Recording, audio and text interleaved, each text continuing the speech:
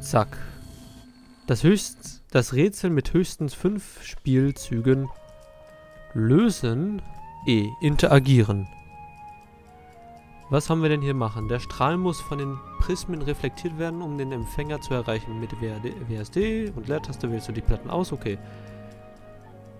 Ähm, da haben wir die Prismen. WASD können wir jetzt auswählen. Okay. Also ich kann euch direkt sagen, dass ich das nicht mit fünf Spielzügen schaffen werde. Wahrscheinlich. Ähm, ich würde den auf jeden Fall mal wegschieben. Genauso wie den. Dann kommt der dahin. Der dahin. Der dahin. Der dahin. Der dahin. Das, ja, das sind auf jeden Fall ein paar mehr als fünf Spielzüge, aber soll es mir egal sein. Ich mache jetzt einfach das Rätsel komplett. Ich weiß nicht, wie es richtig ist, aber passt. Ne? Ich will gleich nicht kämpfen. Und das wird wahrscheinlich noch ein ätzender ätzenderer Kampf als letztes Mal. Wo ich auch schon so kläglich versagt habe. Wir laufen einfach mal runter und hoffen das Beste. Da müssen wir wahrscheinlich gleich raus. Okay, gib ihm. kein Kampf. Aveline, ist es gelungen? Zeig es mir nicht. Ich habe schon zu viel gesehen. Ich will es nie wieder ansehen müssen. Maman, ich kehre zurück nach New Orleans und stelle alles richtig. Dann lasse ich nach dir schicken. Meine liebe, starke Tochter. Nichts wäre mir lieber, als wieder bei dir zu sein. Doch mein Platz ist nun hier. Die Menschen hier brauchen mich. In Nouvelle-Orléans werde ich nur alte Geister sehen. Ich verstehe. Keine Sorge. Dies ist nicht das letzte Mal, dass wir uns sehen. Sei vorsichtig, mein Kind.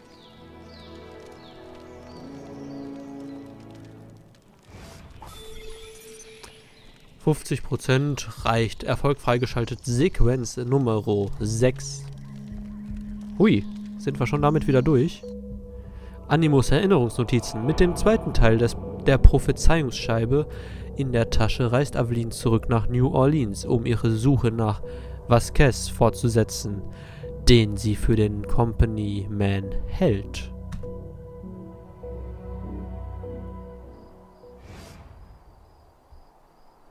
1773 New Orleans. Trotz des Erfolgs in Chichen Itza wartet zu Hause ein bittersüßes Wiedersehen. Mal gucken.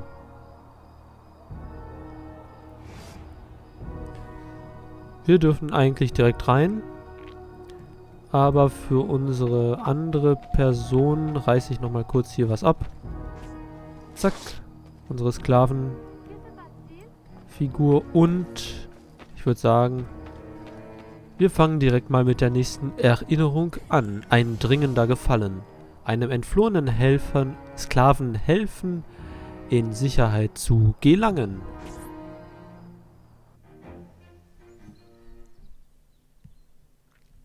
Oh, wir sind jetzt wieder als Dame hier gekleidet. Haben wir ja auch schon länger nicht gesehen. Und wir schreiten langsam die Treppe empor, um, ich weiß noch nicht was zu erfahren. Werden wir sehen. Ich denke mal jetzt. Papa, du bist leichenblass. Was hat denn der Arzt gesagt? Sorge dich nicht, ma Chérie. Es ist nur ein... Papa! Meine Liebste, schau nicht so finster. Dank deiner Sorge und den Tränken deiner Stiefmutter schmerzt die Genesung mehr als die Krankheit. Oh. Jeanne, du hast dieses Medaillon stets gut behütet. Ich habe immer bedauert, dass... Aveline, verzeih bitte die Störung, doch ich brauche deine Hilfe. Es ist dringend. Natürlich. Ich liebe dich, Papa.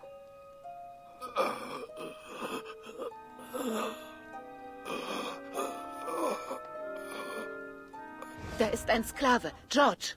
Ich versprach ihm sicheres Geleit nach Norden, doch während der Flucht entdeckten ihn Soldaten. Er versteckt sich, aber bitte, kannst du mir irgendwie helfen? Dein Geschäft läuft gut und mit deinen Kontakten im Bayou. Ja. Ich bringe Ihnen Sicherheit. Mit äußerster Diskretion. Ich habe ein Geschäft. Tja, armer Vater. Liegt da jetzt einfach hier rum und mal gucken, ob er es schaffen wird. Atmet der überhaupt? Ah doch, der lebt noch. Gut. Das Feuer prasselt auch noch schön warm. Und wir laufen mal wieder nach oben. Oder in welche... Ja doch, wir laufen nach oben. Und... Ach, durchs Fenster natürlich. Natürlich. Als Assassinen. Okay. Machen wir.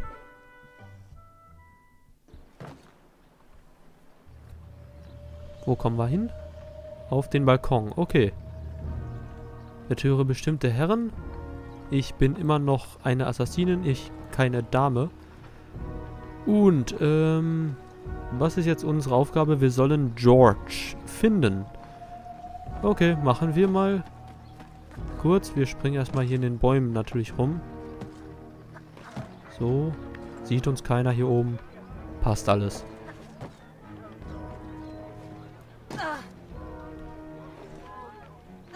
Wir laufen einfach hier rum. Keiner bemerkt uns. Oder irgendwie steigt zumindest nicht unser Bekanntheitsgrad. Die kennen uns schon hier als Jumperin. Aber bevor wir jetzt zu George gehen, hätte ich noch gerne das Bedürfnis, den Leuchtturm da vorne. Äh, ich werde beobachtet.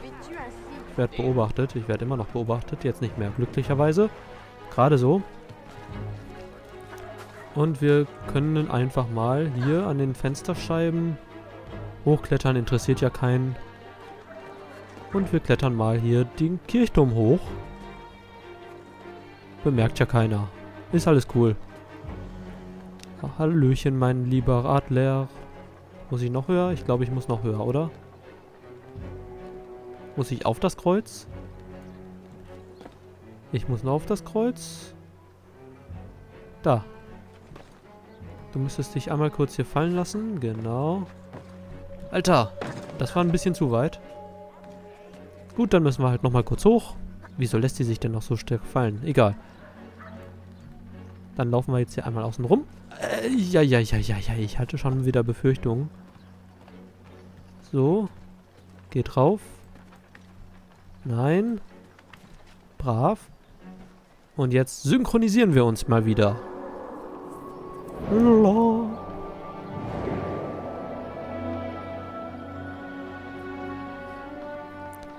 Und springen hinab. Haben schon 8 von 11 Aussichtspunkten. Und können jetzt einfach mal weiter in Richtung George laufen. Die Leute sollen mir jetzt mal total schnuppe sein. Ich laufe hier einfach mal schnell hin. So schnell bemerken die mich dann doch nicht. Was ist das hier für ein Symbol? Ich weiß es nicht. Guten Tag. Ausländisches Geld brauche ich nicht. Ich bin ehrliche Assassinen. Oder so in etwa. Und wir kommen hier... Ach, guck mal, was da vorne noch ist. Ein Falkenturm. Tut mir leid, das muss natürlich mal wieder geschehen. Ähm, vielleicht war es doch keine so gute Idee. Ich jump mal hier hoch, ne? Würde ich jetzt einfach mal so vorschlagen. Ihr trefft mich nicht und ihr kommt nicht hier hoch, hoffe ich einfach mal. Wir sind ein bisschen bekannter geworden. Aber das ist es mir wert. Solange wir uns jetzt hier synchronisieren können.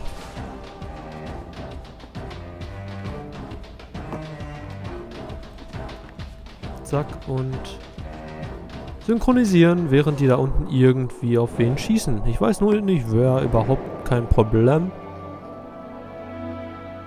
La. Die sehen uns nicht. Was? Was war das denn? Ich habe keine Ahnung. Äh. alles cool. Eventuell sollte ich ihm äh, helfen. Da vorne ist unser Punkt. Wir bleiben hier kurz noch ein bisschen drin stehen und hauen dann raus und müssen dann wahrscheinlich jetzt hier eingreifen. Na, was geht ab noch?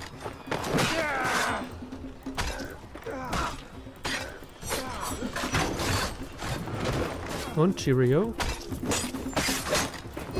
Gute Nacht und du wirst auch noch sterben George. müssen. So. Ja? Komm mit mir. Was? Los, sie kommen näher. Okay, äh, was müssen wir machen? Kein Konflikt. George zum Tor öffnen. Führen, was auch immer. Wir laufen einfach mal hier durch. Ach, weißt du was? Der sollte das auch können. Ich jumpe hier durch die Gassen. Ich glaube, wir sollten keine Konflikte auslösen, so wie das... Halt! Komm schon, geh hoch. Die sehen dich nicht? Genau, richtig so. So, da vorne sind wir gleich schon. George ist egal. Der kommt so hin. Und schnell dahin. Komm schon. Ey, hat er doch noch erkannt. Wer Okay. bist du? Was bist du? Keiner sagte mir irgendwas von Racheengeln oder... Los, such dir Schutz im Bayou. Erstmal rückwärts laufen. Ach ja. So, Sequenz 7. Ein dringender Gefalle. Haben wir gemacht. Und wir laufen direkt hinterher. In den Bayou. Animus Erinnerungsnotizen. So, trotz des schlechten Gesundheitszustands ihres Vaters führt Aveline ihre Suche nach Vasquez fort.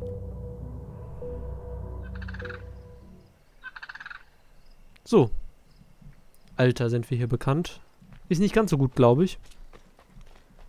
Ähm, ich würde sagen, wir nehmen den direkten Weg hier irgendwie durch. Das Gefleuche, Gesträuche und so weiter.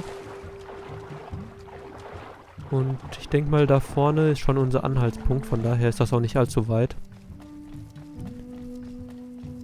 Oder na, könnte vielleicht doch ein bisschen weiter sein. Klettern wir mal kurz hoch. Aber hier sind ja zum Glück fast alle mit uns wohlgesinnt. Sonst zahle ich einfach irgendwas und dann passt das. Da vorne müssen wir hin. Ich hab da, glaube ich, schon eine Person aufblinken gesehen. Genau. Hallo. Ausrüstung der Revolution. Den Spaniern, helf Spaniern helfen, die revolutionären Rebellen zu versorgen. Frage, mache ich das jetzt noch oder mache ich das nicht mehr? Hm. Mal gucken, was er zu sagen hat, würde ich sagen.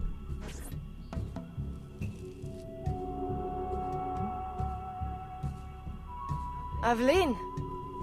Wer ist das? George, ein Freund. Wir haben ein Problem, bei dem ihr vielleicht helfen könnt. Aveline, ein Freund von dir ist ein Freund von uns. Aber wir haben hier selbst ein kleines Problem. Unsere spanischen Freunde wollen, dass wir diese Vorräte überbringen. Und zwar an, wie sagt ihr, Patriotes. Am Rand des Sumpfes. Patrioten? Oui, du weißt, aus dem Norden. Rebellion, Aufruhr etc. Eine Geschäftsangelegenheit sozusagen. Doch anscheinend stehlen spanische Soldaten die Vorräte immer wieder zurück. Das kommt mir schrecklich bekannt vor. Denkst du etwa, Oh, ich denke doch, niemals.